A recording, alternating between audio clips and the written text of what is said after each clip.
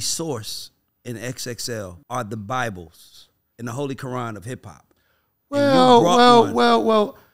There's only one Bible. You know what I'm saying? That's what's that Holy Quran. That's what's that Quran. There's only one Bible. You know what I'm saying? XXL wouldn't be the another Bible. You know what I'm saying? You know what I'm saying? They're not Like- the King James version. They're not the Yeah, King there's James only version. one Jesus. It's not like it's another Jesus. You know, Ray. You know what I'm saying? We've been agreeing a lot tonight. The Bible oh. 2.0. I want to finish on a good note. You know what I'm saying? I would say this though, like, you know, XXL was smart because to basically take the blueprint because we would only be able to put 12 people on the cover. And there was so many artists. So it made sense that there was another magazine, mm. Vibe, at 12, so more people could be on the cover. sure. So, you know what I'm saying? But there was only one Bible. Bible. Amen.